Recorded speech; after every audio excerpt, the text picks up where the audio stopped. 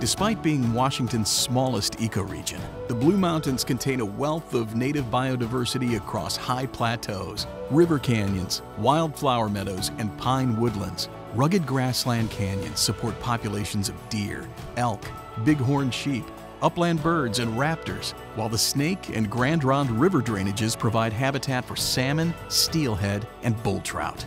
Habitat loss, invasive plants, and higher intensity wildfires pose threats to the biodiversity of the Blue Mountains. The Washington Department of Fish and Wildlife is working to improve and protect the unique habitats for the fish and wildlife that call the Blue Mountains home.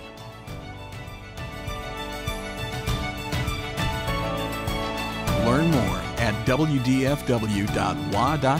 slash biodiversity.